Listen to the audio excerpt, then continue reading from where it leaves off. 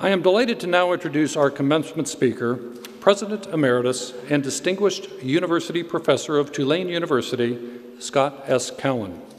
Scott is a native of New Jersey who earned his undergraduate degree at the University of Connecticut before declining, I repeat, declining, a graduate student deferment to enroll in Officer Candidate School with the U.S. Army.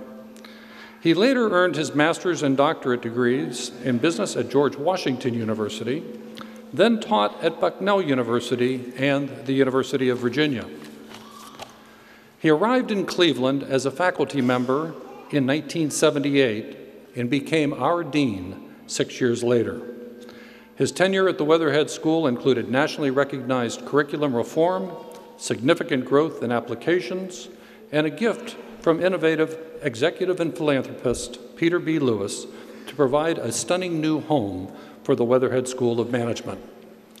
Scott is a beloved and legendary leader of the Weatherhead School, who has proved to be a very tough act to follow.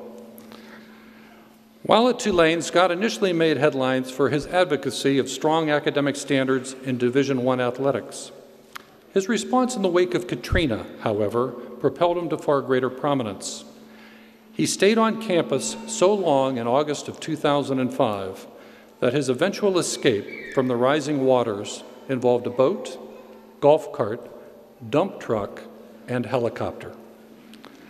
Working from a makeshift administrative office in Houston, he worked with school leaders to find Tulane student spots at other campuses for the fall semester, and then to ensure Tulane reopened in the spring, despite $650 million of storm related damage.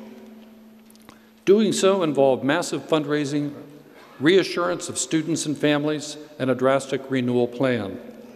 In January 2006, more than 80% of the first year students returned, and more than 90% of all students did.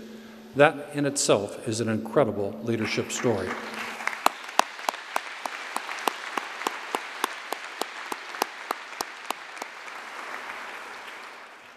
Beyond his efforts for Tulane, Scott also engaged in supporting his city in its recovery.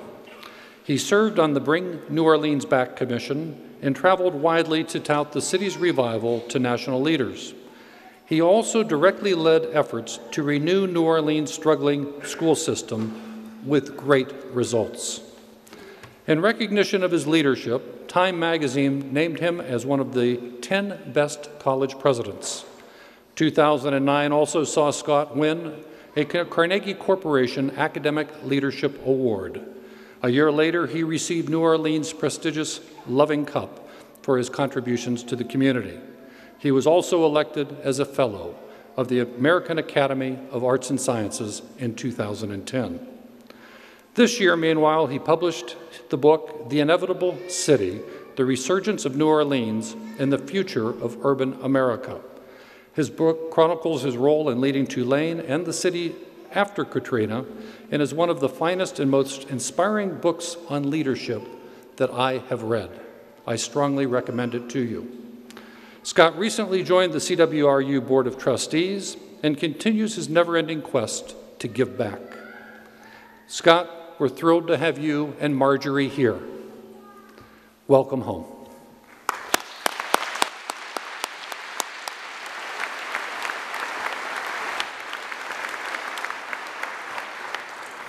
Good afternoon, everyone. It's a great honor for me to join all of you on this very festive and momentous occasion in your life. By the way, during my career as a dean and president, I have presided at 30 commencements, 14 at the Weatherhead School of Management, and 16 as president of Tulane University. One of the key lessons learned from this unique experience that any commencement speaker should by, that is that any commencement speaker should abide by three basic principles. I refer to them as the three B's. Be genuine, be brief, and be gone. We will now see whether I really learned that lesson. Like you, this is a poignant moment for me, since I left the Weatherhead School 17 years ago to become president of Tulane University. My memories of CWRU, Weatherhead, and Cleveland are vivid and a sustaining force in my personal, personal life just as I hope they will be for all of you. While I didn't receive my degrees from CWRU, the education I received through my experiences and friendships were powerful influences in my development as a person and a leader.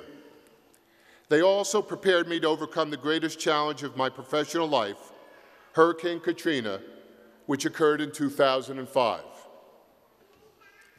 Since that great tragedy, I have reflected on my career and what themes have seemed to characterize my development as a person and professional. I've narrowed the list to five and share them with you for what they are worth. They represent neither best nor worst practice, but hopefully one or more will resonate with you. Reflection number one. Whatever successes I've had in my life, they are due in large part to the adversity I have overcome and the mistakes I have made. Last year, when I gave the last lecture at Tulane University, I disclosed publicly something I had never disclosed before. And that is that I could neither read or write until I was in the third grade. And it was, I was diagnosed many years later with dyslexia, and I've lived my life with it. As I reflect back on that experience as a young child growing up, where everyone thinks you are either lazy or stupid or something else, it has an impact on you. And it either destroys you or it makes you stronger. In my particular case, I developed the coping mechanisms I needed to overcome it. And many of those coping mechanisms were the very things that helped me get through Katrina and other things in my life. There is this old saying that what does not defeat you makes you stronger. I believe in that. I would not wish for any of you any adversity in your life or any big mistakes. But when they come, look for the silver lining, because every one of them has a silver lining. And out of that silver lining, you will grow and develop in ways otherwise not possible. Reflection number two. My career path was based more on serendipity and opportunity rather than careful planning. This is really a confession to make in front of a bunch of MBAs, doctoral students. I didn't have a plan. Two weeks ago, I was giving a lecture on campus at Tulane University, and a student raised their hand and asked me a question I had never been asked before. The question was, when did I know I wanted to be a university president? And I said, the year after I was one. they were astonished by that because they thought that I had had some game plan ever since my MBA degree all the way to the presidency. But here's the truth. When I sought my MBA degree, I did it because I wanted to be an investment banker. But somebody convinced me instead to get my doctoral degree. When I got my doctorate degree, I really did it because I wanted to be a consultant. Someone convinced me to be a professor, and the rest is history. So what's my point here? Don't worry if you don't have a plan for your career. Just make sure that whatever you do, you do well, and thereafter follow your instinct and your passion. Reflection number three. Some of the greatest leaders I have ever known were not the smartest people in the room, but they were often the most passionate and driven, and they usually possessed a high degree of emotional intelligence. And I didn't say that just because Professor Boyatzis is up here, even though I learned a lot about emotional intelligence from Richard when I was a professor here. But what they do is they have these three great attributes. They're unbelievably inquisitive, they are great listeners, and they are lifelong learners. And out of that experience of those three actions evolved some of the greatest leaders I have ever seen. Beware of those in the room who think they are the smartest in the room. They are often the least effective because they think they have all the answers and they rarely do. And since I wasn't the smartest in the room, I sure as wanted to make sure I wasn't the dumbest in the room. And fortunately for me, it worked out uh, I was probably at the median. Reflection number five. Look for and learn from great mentors. When I was in Cleveland, and at CWRU, I learned about the power of mentorship. I was fortunate to have several outstanding mentors during my time in Cleveland, and what I learned from them was my guidebook for leadership. A few of them are on the stage today.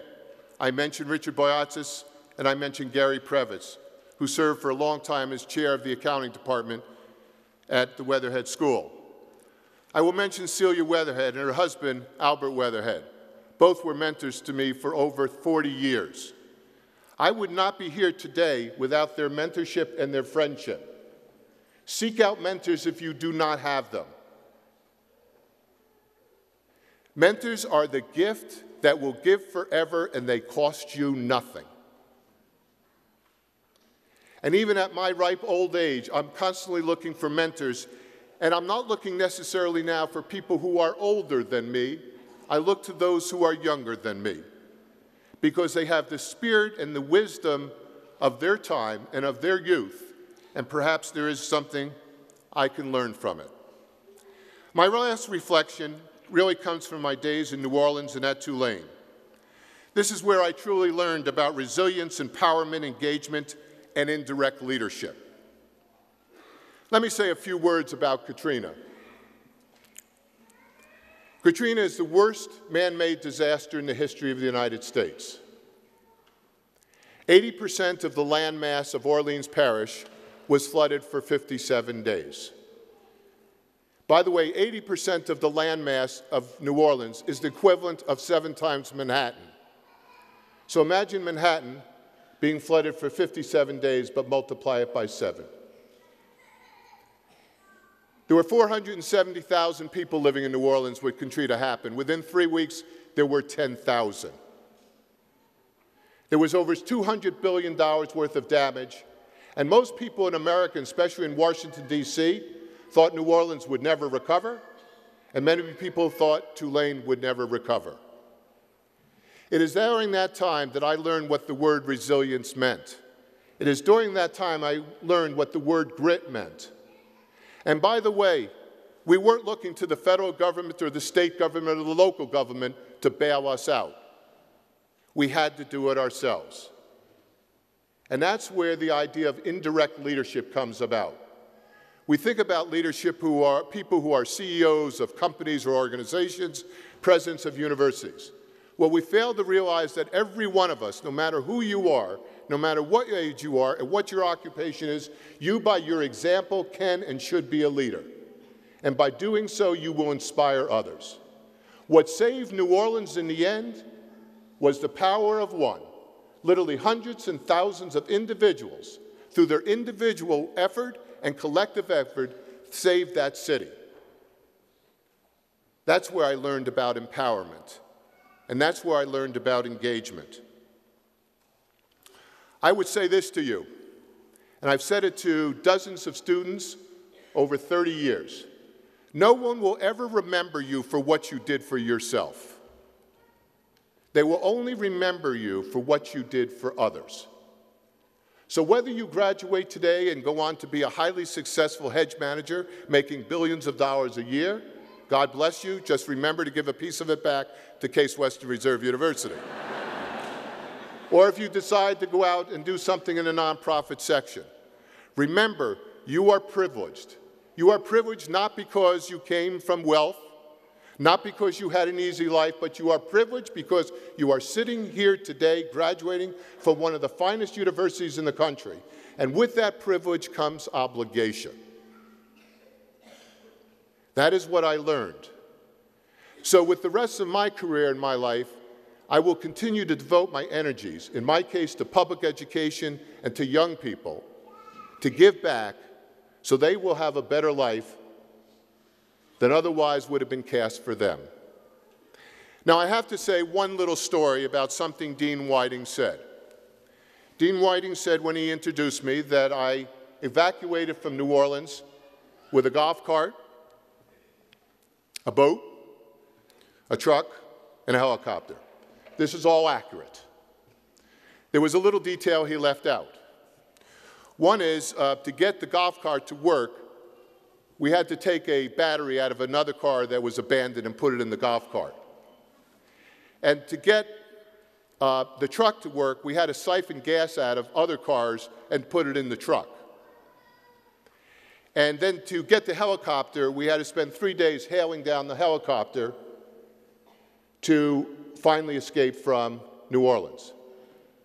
Now, a week after that event, I was on NBC News. And one of the newscasters said to me, I understand you got out of the city this particular way, describing it just as I did. He said, I don't understand how a university president has the skills to do all of those things. and I said, first of all, I was never born a university president, but I was born and raised in New Jersey. so for those of you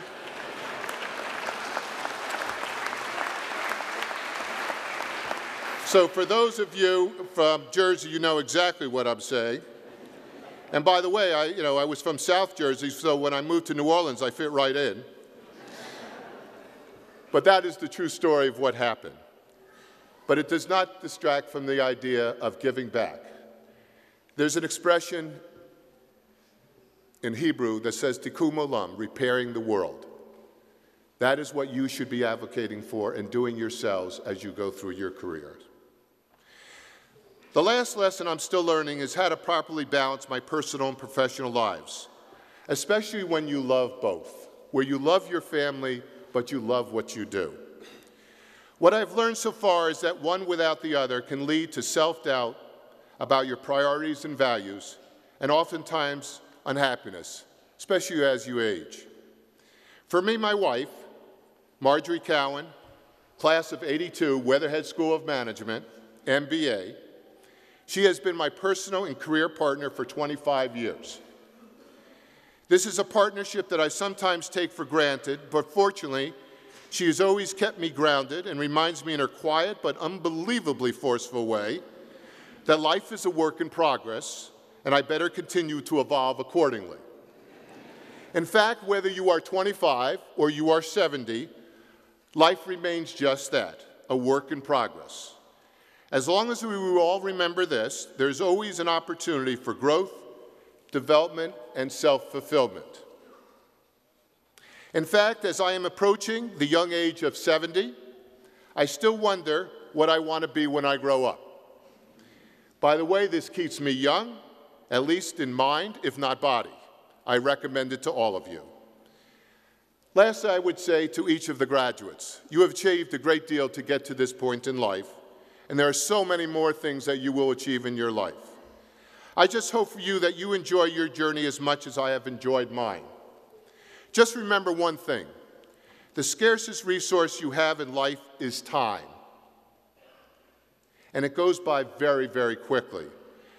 Sever every moment because time is irreplaceable. Congratulations to the class of 2015.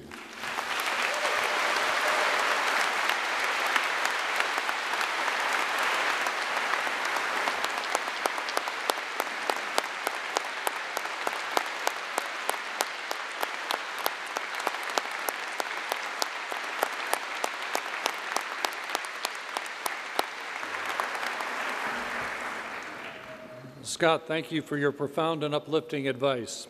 You know, the school strives to develop leaders who innovate to create sustainable value and are good global citizens.